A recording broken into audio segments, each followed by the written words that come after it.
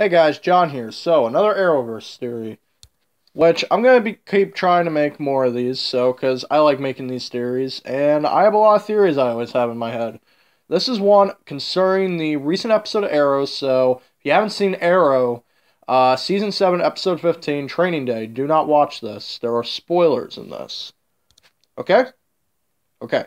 So, going into spoilers, in the episode, we have and I'm used to saying this name because it's her name in the comics, but Dinah Laurel Lance.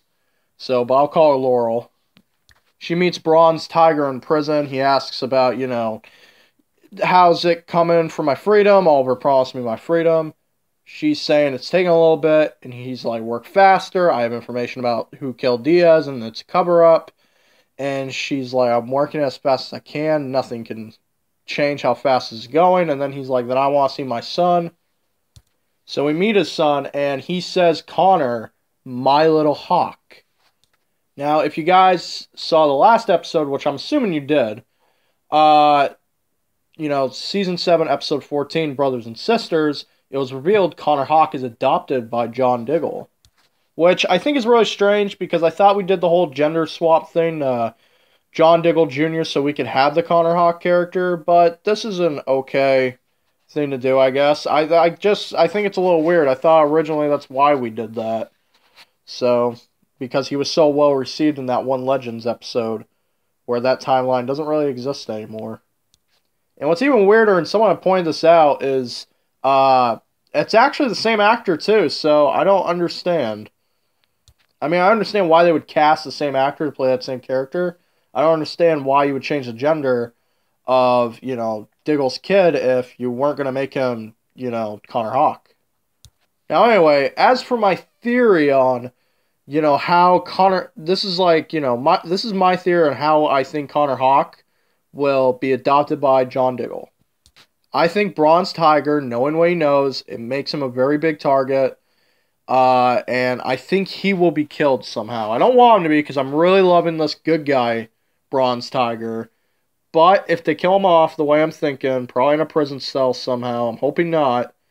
I'm guessing his son will be an orphan or or somehow maybe like you know the Connor's Hawk like mom maybe she dies or something and then Bronze Tiger dies son has no one or you know maybe the mom just dies and maybe like Bronze Tiger asks you know Oliver please protect my son maybe Diggle, since next season will be its final season, maybe next season Diggle adopts Connor Hawke, or maybe he tries to adopt him this season if the events I'm talking about happen, and maybe he moves away from Star City.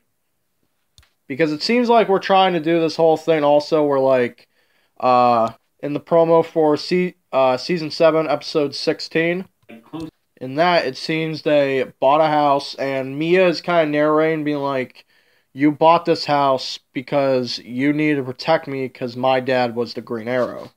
Now, she seems to be, also in the promo, it seems to be, they said a hero is born. Now, there's some stuff coming out being like, oh, well, this might be getting a spinoff and Black Star will be the vigilante. Now, going off track a little bit, I'm just going to say I'm not for the spinoff.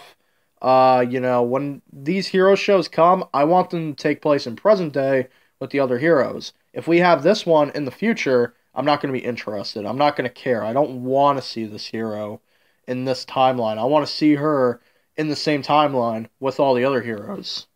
Anyway, back to what I was saying. I think Bronze Tiger or the mom could die, maybe both. And I think Oliver feeling responsible that he will feel like he owes Bronze Tiger in death, and he will ask John, hey, will you adopt this kid? Or maybe Bronze Tiger gets out of prison, works with them as like the vigilante task force, dies, and then that's how that's kind of inspired. So it's not really a long theory, I know, and I don't really have a lot of evidence supporting it, but I feel like just that's the way it would go. So Although to be fair, with Crisis and everything and Arrow ending, it could it's pretty much unpredictable what they could do. It feels like who knows, they might be introducing a third sister. Anyway, guys, thanks for watching. If you like my video, please hit that like button. And if you like my channel, please subscribe. Thanks for watching. Bye.